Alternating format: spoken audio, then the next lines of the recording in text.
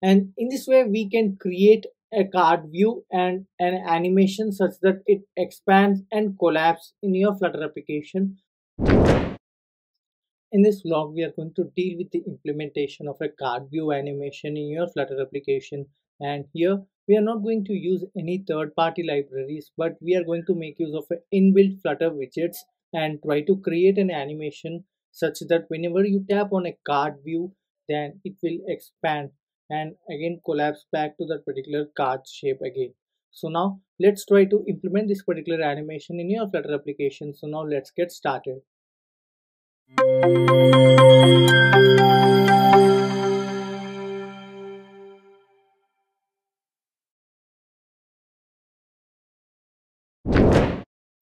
So here this is a basic skeleton code which we have for every project when we so whenever we try to create a new project in flutter so here instead of the placeholder i'm going to replace this with the material app here. So inside the material app i'm going to specify scaffold here. And inside the scaffold we generally have an AppBar here AppBar specification. And here we can just specify the title with the help of a text widget. And here i'm going to expand. And here i'm going to specify the title like expansion or expanded card view. Okay so this is the basic theme of this particular tutorial and here you can just try adding const here. And now let's try to specify the body here as well. And i'm going to consider a container for now. And inside this particular container let us try to specify a gesture detector as a child here. So why i'm specifying gesture detector? Because whenever we tap on that particular card I just want the animation to be expanded. And also whenever you are making use of a card view like card widgets here then to implement a tap functionality then we need to make use of a gesture detector here.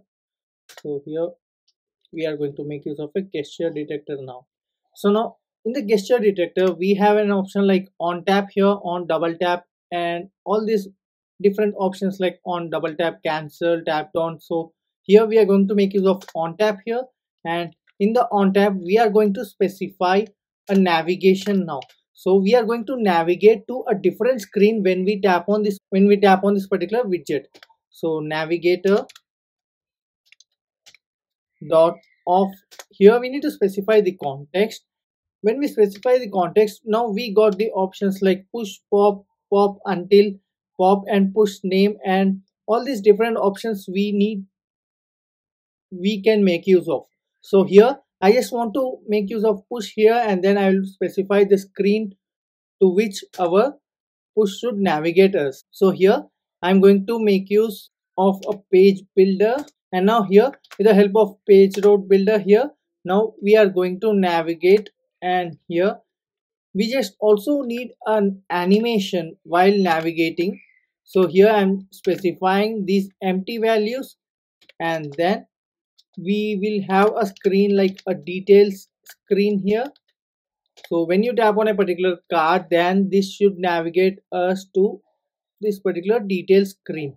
And here you can see the error. We don't have any detail screen right now. And so we need to create a detail screen class event. So quickly we are going to create a stateless widget like a details screen here. And now let's try to create a card now so this is the first part in the gesture detector. We have specified the on tap and within the gesture detector itself, we need to specify the card now. So here we are going to make use of a card here. And from here, this is a similar thing when you make use of a card, how you specify all the required parameters here. So it's considered to be the similar of that. So quickly, I'm going to specify the margin here and edge insets dot on all sides here. So I'm quickly going to specify the margin on all the sides. And here even the card will have the child here inside which I am going to specify inside which I am going to specify a text widget. And here I'm going to specify it's like tap to open. So this is the basic message and also you can make this card like const here. Because we have no or dynamical changes. We we don't change any data here inside the card or regarding the card. So i'm just trying to make it like const. Just to avoid those warning messages. And I just want this particular text to be in the center inside the card here. So I'm going to wrap it with the center.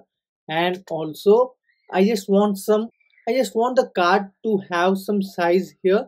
So I'm going to wrap it with a widget and this widget is going to be sized box here.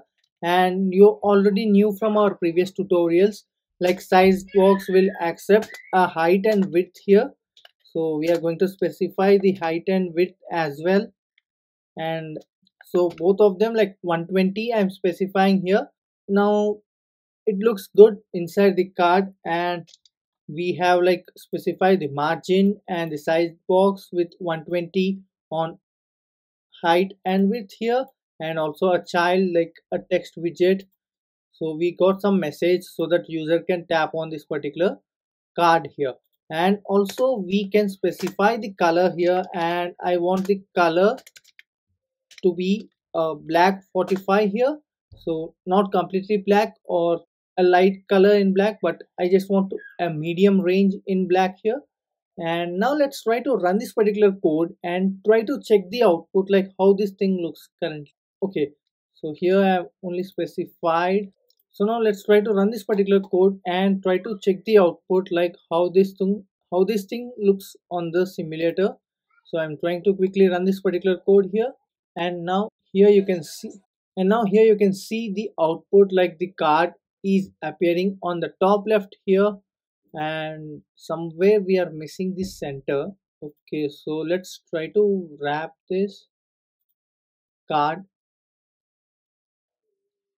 or this particular container here. Let's try to wrap this particular container in the center here and now let's try to rerun this particular code. And yes this is now in the center of the screen. And here you can see we can tap on this particular card but we have not specified any information in the details screen and also the same we are getting an issue here. The context used to push or pop routes to the navigator must be that of the widget that is descendant of the navigator widget. Okay fine. So now let's try to so here the issue what we are facing is like directly we are trying to navigate from my app here. So i just want to have one more class here. Instead of my app i just want this to be home class here. So here this is the home class. And now let us try to create a my app class here. And from here we are going to redirect to the home class now. So again the same changes we are going to make here. And also you can add const here. And also I will try to move this material app and scaffold everything into the my app widget here instead of home widget. So now here I have removed this particular material app and moved it to the top level class here. And now we got like two classes like home and detail screen here. So now let's try to add some information to this particular detail screen. So first of all we are going to return a container here and inside this particular container let us try to specify the gesture detector again. And here in the gesture detector let's try to specify on tap.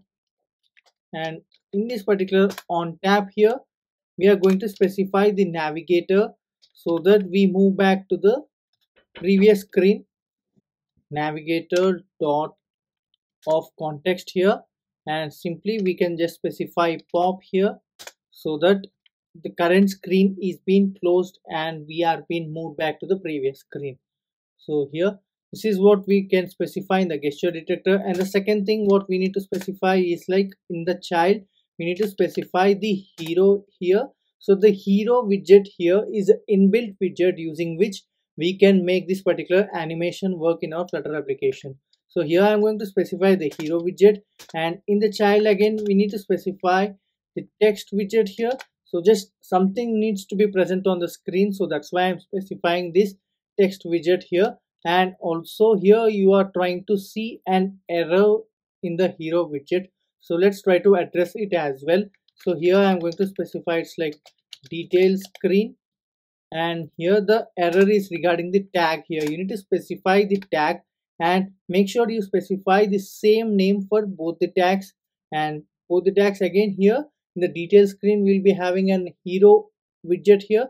And also in the home class also we will be having a hero widget. So now let's try to specify card hero. I'm just trying to specify here. You can specify any name here. I'm just going to specify card hero. And also we need to wrap this particular card here inside this hero widget again. And here we need to wrap this particular card widget again inside the hero widget here and the same tag we need to specify here as well. So here we are done with the code. Mostly we have covered everything. Now let's try to run this particular code and see the output once. And also one more thing what i would like to have is like the color for the container. So in the home widget we have specified like black 45 right? So i'm going to specify the same color here. And now let's try to run this particular code. And let's try to tap on this particular card now and try to observe the animation. The animation is working but inside the detail screen this is not apt here. So we are not able to get the perfect output now. So here I want to wrap this particular container into scaffold. And here instead of child let us try to specify this like a body here. And also move this color from container to the hero widget here. And here this particular text widget to and the child I'm going to specify a column here. And this particular column will have multiple children and that's it. So now let's try to run this particular code. And here you can see like we are now able to expand the widget and also we can collapse this particular widget. So, and in this way we can create a card view and an animation such that it expands and collapse in your flutter application. So the code for this tutorial i'm going to provide in the description section below and if you are having any queries in this particular implementation do let me know in the comment section below. And if you like this tutorial do like share and subscribe to our channel for more interesting content on flutter